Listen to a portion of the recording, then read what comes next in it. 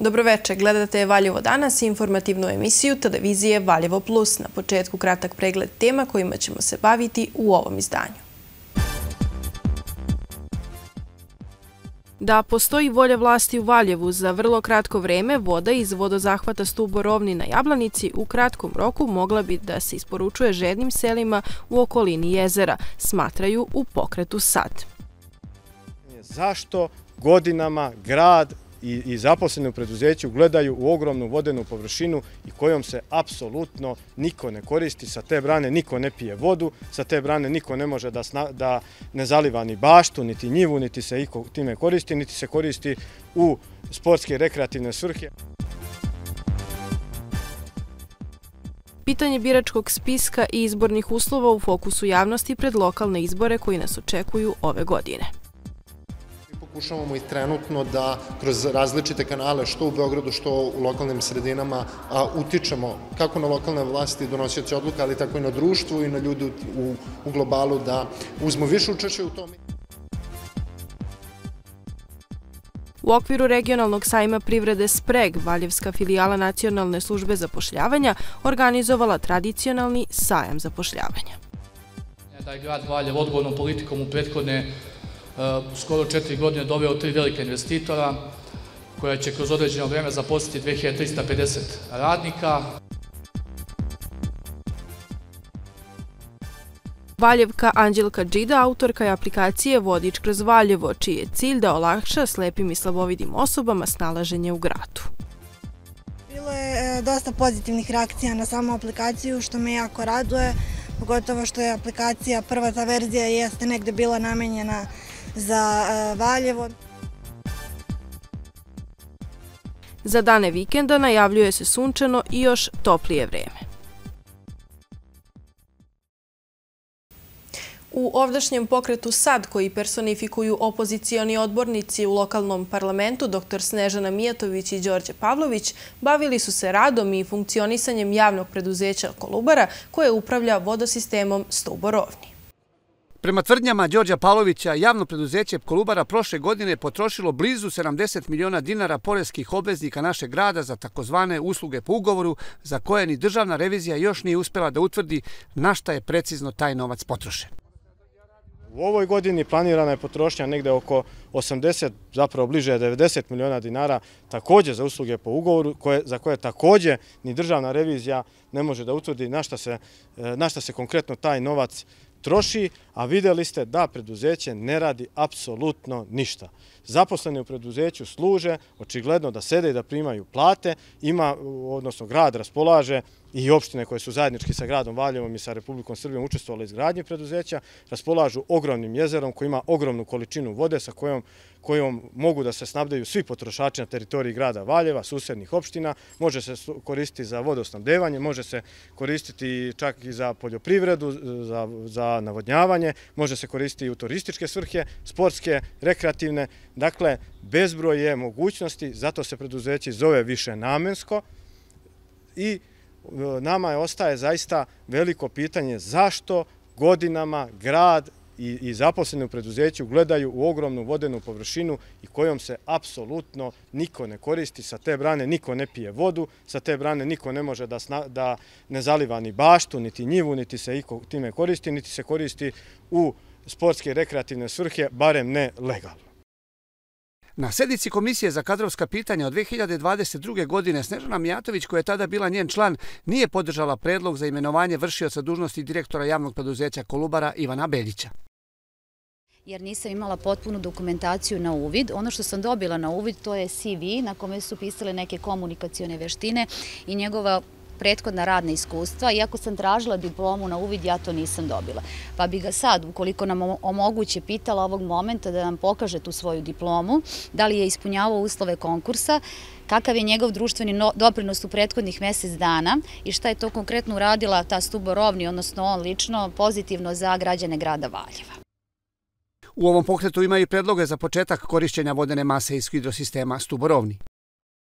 Prva stvar je da se u najkraćem mogućem roku, a to može da se učini odmah posle izbora, malte ne, odmah nakon prve konstitutivne sednice, može da se donese odluka da se od tih 70 miliona dinara koje se uludo i ne zna se kako troše, odmah iskoristi za stavljanje u funkciju postrojenja na Jablanici koje postoji i koje je blizu da postane potpunosti funkcionalno, da se voda dopremi do rezervoara visoka, da se rezervoar visoka rekonstruiše i stavi u funkciju i to je period do najviše godinu dana kada bi e, korisnici sa vodosistema e, Kukalj mogli već da koriste tu vodu i građani bi za manje od godinu dana odmah videli neposredno korist od toga. Druga stvar je da se elaborati, projekti koji već postoje stave u funkciju takođe u periodu ne duže od godinu dana i da se počne sa navodnjavanjem njiva i onih e, delova poljoprivrednog zemljišta koje to može i koje je tim elaboratima već obuhvaćeno. I treća stvar je da se u periodu od četiri godine, tako to je sad na kraju neki dugoročni plan, da se i brana stavi u funkciju sportsko-rekreativnu, kao što je između ostalo predviđeno, na primjer, izgradnjom podbranskom delu jednog akvaparka. Zašto da ne i, i, ovaj, obogatiti i tim sadržajima naš grad. Ovako kako sada to izgleda, brana ne služi ničemu. Nakon razgovora sa novinarima, Mijatović i Pavlović su se uputili u prostorije Kolubare kako bi se uverili da li se šta i koliko radi u ovom javnom preduzeću.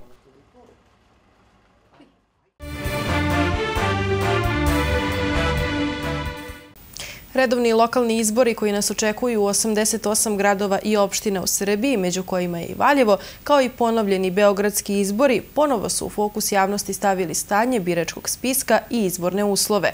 Upravo to su teme na kojima insistiraju i brojne nevladine organizacije. Monitoring decembarskih izbora koji je sprovela krovna organizacija Mladih Srbije pokazao je da su se izborne liste mladima obraćale ukupno 89 puta od čega je lista Aleksandar Vučić Srbija ne sme da stane imala najviše obraćanje, 34, ali je po zastupljenosti mladih na listama bila među onima koji ih imaju najmanje. Čak i kada govore o mladima, stranke se ne obraćaju direktno njima, već njihovim roditeljima. Da mladi ipak nisu nezainteresovani, a politični, pokazuju i grupe formirane na protestima nakon decembarskih izbora. Naša organizovana grupa poslednjih meseci sprovode različite akcije koje su uglavnom kreativne akcije, najviše usmerene na mlađe ljude kako bi oni mogli da se uključu u to. A, ono što trenutno radimo jeste obilazak različitih lokalnih zajednica gde pokušavamo da oformimo različite aktivističke grupe, odnosno organizovane grupe kao što je naša, kako bismo na samom lokalu pokušali da delujemo a, kroz njih, odnosno kako bi ljudi na lokalu sami i samo organizovano mogli da deluju a, u sprečavanju izbornih mahinacija, kako za njihove lokalne izbore, tako i da potencijalno spreče migracije ljudi iz njihove sredine ka nekim drugim sredinama a, za to. Mi smo u poslednje vreme imali više a, različitih akcija, ona koja je bila negde najupečetljivije jeste kada smo u više od 20 lokalnih samouprava istovarili kupus ispred a, opština i gradskih uprava, a cijela priča jeste u stvari bazirana na tom simbolu zeca i tom simbolu koju u stvari naša organizovana grupa i nosi, a, zato što a, su nas čelnici, državni čelnici nazivali zečevima koji beže pred policijom, pa smo mi iskoristili tog zeca i taj kupus da bismo ovaj, ukazali da je birački spisak u stvari kao kupus. Broj mladih koji su spremni da izađu na glasanje raste nakon svakog izbornog ciklusa.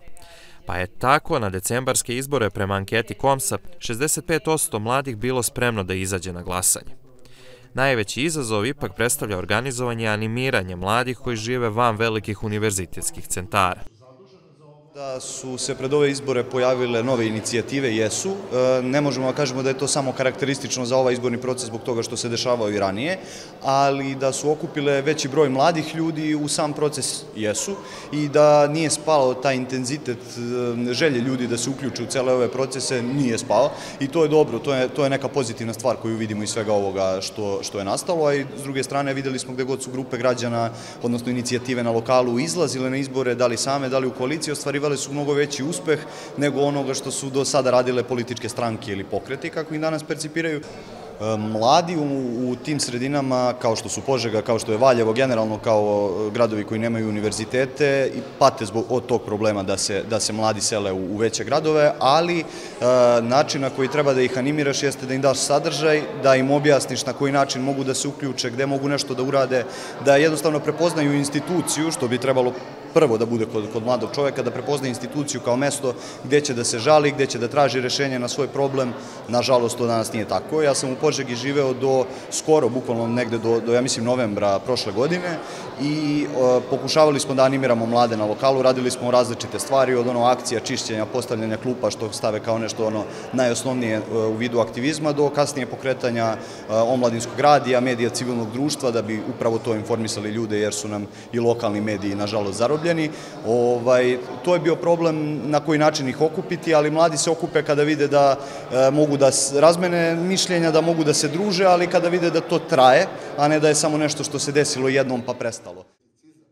Kako nas u narednom periodu očekuju ponovljeni izbori za Skupštinu grada Beograda i redovni lokalni izbori u brojnim samoupravama širom Srbije, u fokusu političkih aktera je unapređenje izbornih uslova, no paralelno sa tim treba raditi na organizovanju lokalnih aktivističkih grupa. Najviše smo se do sada bavili u stvari tom migracijom birača i tim neregularnostima vezanim za prijavu boravka ljudi za glasanje na mesto odekle oni zapravo nisu i gde zapravo nemaju registrovano boravište, tako da je to ono što je nama ključni neki, ključni činilac oko kojeg se naša grupa ovaj, vezala u borbi za neke pravednije i, i više fair jeli, izbore a, tako da sa te strane mi pokušavamo i trenutno da kroz različite kanale, što u Beogradu, što u lokalnim sredinama, utičemo kako na lokalne vlasti donosioci odluka, ali tako i na društvu i na ljudi u, u globalu da uzmo više učešće u tome i da se više, više posvete ovom pitanju. Trenutno imamo više od 20 nekih a, konekcija koje su se desile, međutim u ovom trenutku imamo dve grupe koje su zvanično formirane, jednu u Beogradu jednu u Novom Sadu, a to su upravo organizovana grupa Svići, organizovana grupa Stav, a sa druge strane u narodnom periodu do lokalnih izbora ćemo pokušati da oformimo i nekako formalizujemo i ozvaničimo i te grupe koje su se desile kroz ove aktivnosti, a koje još uvek nisu koordinisane na takav način, ali, bi, ali je naše neko očekivanje da ćemo do lokalnih izbora moći da imamo više od 15, ako ne i 20 lokala u Srbiji. Predsjednica Skupštine Srbije Ana Brnabić raspisala je ponovljene lokalne izbore u Beogradu za 2. jun. Redovni lokalni izbori ove godine treba da budu održani u 88 gradova i opština, među kojima je i 17 gradskih opština u Beogradu. A ako bi vlast pristala da se i ostali lokalni izbori održe 2. juna, rok za njihovo raspisivanje bio bi 18. april.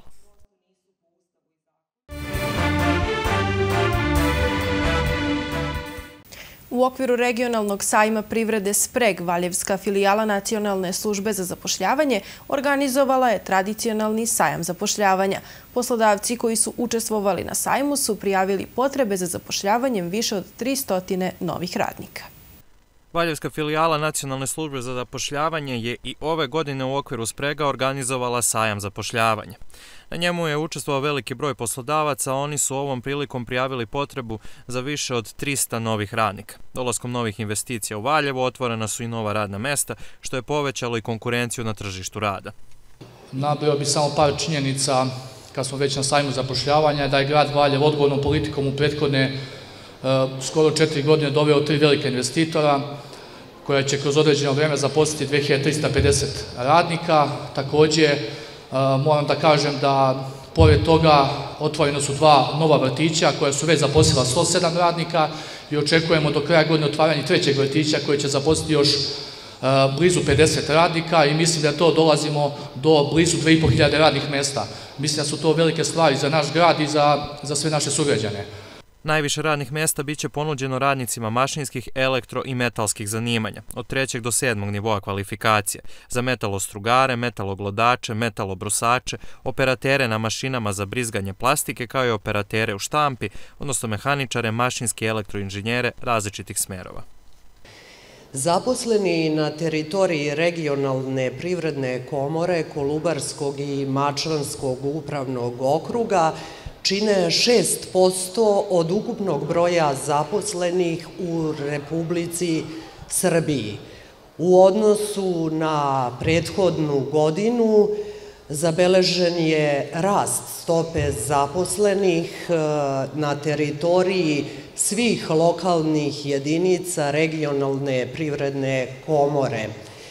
E, najveći rast zaposlenih e, zabeležen je naravno u naša tri centra, regionalna i to grad Šabac, grad Loznica i grad Valjevo. Oni čine 65% od ukupnog broja zaposlenih na našem regionu. U poslednje vreme privrednici se sve češće susreću sa nedostatkom stručnog kadra, najviše u industriji metalskoj, tekstilnoj i građevinskoj, a kao rešenje tog problema vidimo u što većem uključivanju privrednika u sistem dualnog obrazovanja. Prema rečima direktora operacija kompanije Hans Grohe Vojkana Marića, u protekli godinu dana od kada su zaposlili prve radnike, imaju stalne konkurse za određene pozicije. Na ovom sajmu zapošljavanja imamo potrebu za operaterima i tehničarima mašinske, elektrostruke. Pored toga uvek praktično imamo otvoren konkurs za inženjere na različitim pozicijama. Uglavnom su to u ovom trenutku mašinski ili tehnolozi, metalurzi. U svakom slučaju od inženjerskih pozicija preko operatera tehničara pa do administrativnih radnika. Ono što ispred nas je jedan još intenzivniji period zapošljavanja. Imamo velike ambicije plan razvoja kapaciteta i napredak razvoja kompanije ide i bržim tempom nego što je to originalno predviđeno. Kako kaže, plan je da do kraja ove godine u fabrici radi 200 radnika, dok će do kraja 2028. godine taj broj preći 900. Sve to utiče na druge kompanije da budu konkurentnije i podižu uslove rada. Prema poslednjim podacima Valjevske filijale Nacionalne službe za zapošljavanje, na njihovoj evidenciji se krajem prošle godine nalazilo 5554 lica.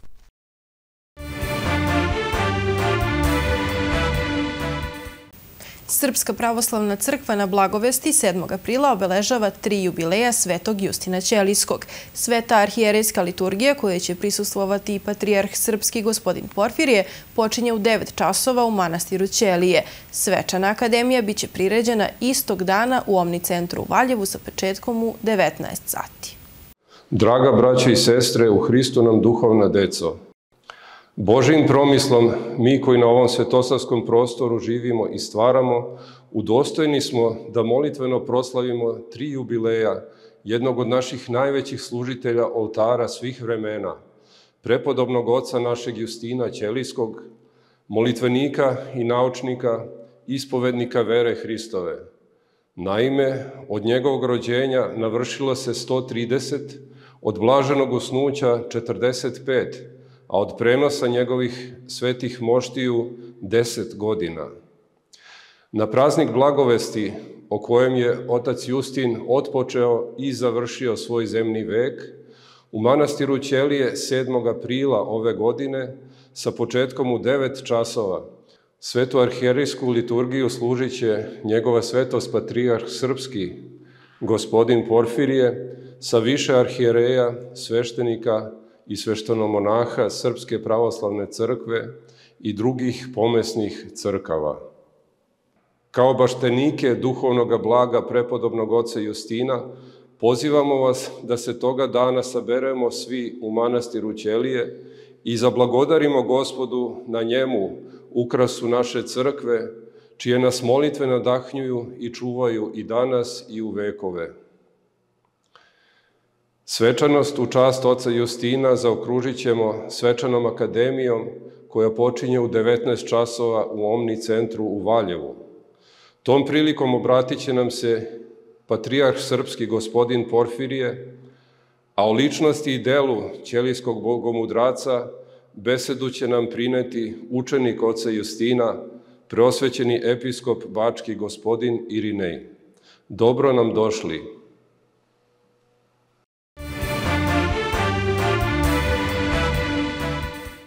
Valjevka Anđelka Džida autorka je aplikacije Vodič kroz Valjevo, čiji je cilj da olakša slepim i slabovidim osobama snalaženje u gradu. Za sada aplikacijom obuhvaćene su gradske znamenitosti, no to je samo početak. Aplikacija za Android i iOS pod nazivom Vodič kroz Valjevo namenjena je pre svega slepim i slabovidim osobama. Uz pomoć programa za čitanje teksta sa ekrana oni mogu da putem ove aplikacije dođu do brojnih istorijskih znamenitosti u gradu, restorana, ali i hotela. Autorka aplikacije je Valjevka Anđelka Džida, a kako kaže, željao je da i dalje radi na njenom unapređenju i implementaciji novih funkcionalnosti.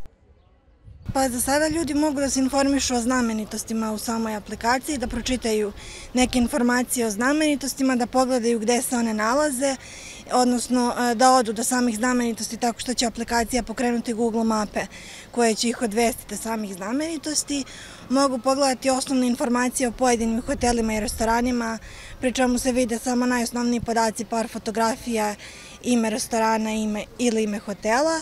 Sa druge strane, ono što se u budućnosti planira u aplikaciji jeste integracija mapa u samu aplikaciju, odnosno da se ne otvaraju Google-ove mape, već da to sve bude integrisano u samoj aplikaciji, ali takođe i da se napravi mapa koja je interaktivna, odnosno u potpunosti prilagođena slepim ili slabovidim osobama. To je jedna od funkcionalnosti koja trenutno nije implementirana, ali za sada korisnici mogu videti mapu samog grada koja je integrisana u aplikaciji. Pa, generalno je bio veliki izazov, pogotovo što je tehnologija koju sam ja koristila, e, susrećem se sa njom prvi put, a sa druge strane e, sama implementacija funkcionalnosti koje su prilagođene određenoj grupi korisnika, bilo to slepi, slabovidi, osobe koje ne razlikuju boje ili slično. E, postoji poseban način implementacije koji je malo, da kažem, kompleksniji od onog koji se pravi za, da kažem, običnu grupu korisnika. Sama aplikacija je još uvek u fazi razvoja, pa Anđelka poziva sve koji je redovno koriste da ukažu na potencijalne greške i tako pomognu dalji razvoj. Kako kaže, ceo projekat je bio prilično specifičan, što se ogleda i u samom dizajnu aplikacije.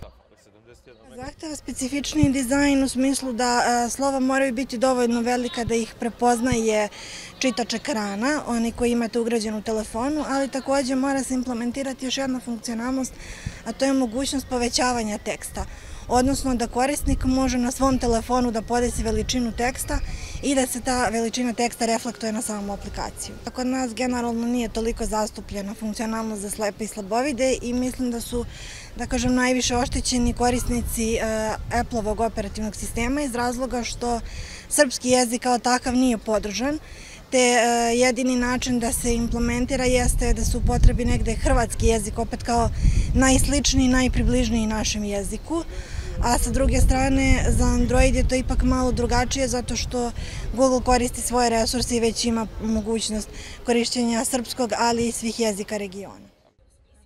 Anđelka je vodič kroz Valjevo promovisala putem društvenih mreža i već je zabeleženo nekoliko desetina preuzimanja. Kako kaže, reakcije korisnika su pozitivne. Izuzetno je važno dobiti reakciju od takvih ljudi, jer opet koliko god se ja kao inženjer negde trudila da implementiram funkcionalnosti njima namenjene, sa druge strane oni kao krajnji korisnici najbolje znaju šta je to što im odgovara i na koji način su navikli da koriste generalnu tehnologiju. Tako da su takve povratne informacije od izuzetnog značaja ali bilo je e, dosta pozitivnih reakcija na samu aplikaciju, što me jako raduje, pogotovo što je aplikacija, prva ta verzija jeste negde bila namenjena za e, Valjevo, odnosno ja sam se odlučila da pravim baš za Valjevo, jer opet smatram da najbolje možete da poznajete svoj grad, pa onda sve ostalo. Tako da je negde ova grupa korisnika koja je instalirala aplikaciju u neku ruku jesu beta testeri, zato što koliko god vi grupu ljudi organizovali kao beta testere, što širi auditorijum imate, to je veća mogućnost da se otkrije, da kažem, potencijalna greška ili nešto što može da se poboljša. Ja sam i u samu e, implementaciju uključila e, greške, odnosno mogućnost da korisnici prijave grešku ili neki predlog ukoliko imaju, kako bi se sama aplikacija iz dana u dan poboljšavala. Uskoro će se u vodiču kroz Valjevo pronaći i neke znamenitosti koje se nalaze u okolini našeg grada, koje su svakako vredne pažnje. Inače, ova aplikacija deo je Anđelkinog master rada na Visokoj školi za informacione tehnologije.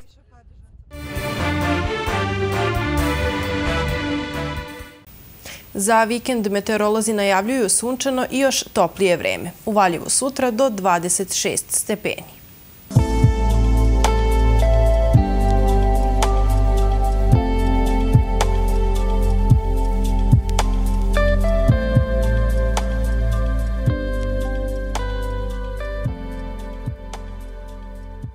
Prema prognozi Republičkog hidrometeorološkog zavoda u Srbiji se u subotu očekuje pretežno sunčano i toplo vreme. Vetar slab do umeren, severozapadni.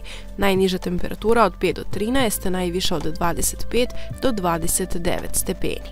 U Valjevu i prvog dana vikenda sunčano i toplo vreme. Najniža jutarnja temperatura 13, najviša dnevna 26 stepeni. Usled očekivanih biometeoroloških prilika, opre se i dalje savjetuje osobama sa srčanim oboljenjima. Poremećaj sna i glavobolje su moguće meteoropatske reakcije. Preporučuje se odevanje u skladu sa termičkim uslovima, kao i primjena adekvatnih mera zaštite od UV zračenja.